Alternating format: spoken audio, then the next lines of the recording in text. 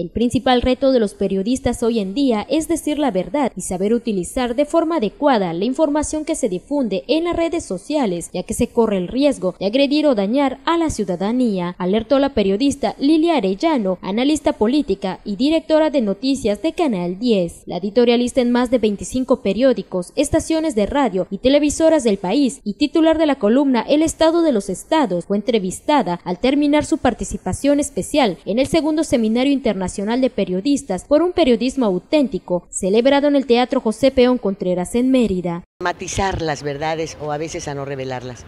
Yo creo que ese es el gran reto, tenemos que decir la verdad. La recipendaria del Premio Nacional de Periodismo y de la medalla José Mujica afirmó que las redes sociales están siendo mal manejadas, permitiendo la entrada de agresiones entre los ciudadanos. Creo que como muchas cosas cuando se rodean de ignorancia en su manejo, en el caso de las redes sociales están siendo mal manejadas. Están permitiendo la entrada a insultos entre ciudadanos, agresiones. Y, bueno, al gobierno le conviene porque se constituyen en una válvula de escape. Entonces a veces piensan que con de darle una mentada al, a la autoridad, bueno, pues con eso ya me desquité. Y entonces, ¿qué sucede? que no, de alguna manera no me inconformo de la manera correcta. Entonces, estas válvulas de escape nos están dañando, nos están dañando a todos los ciudadanos.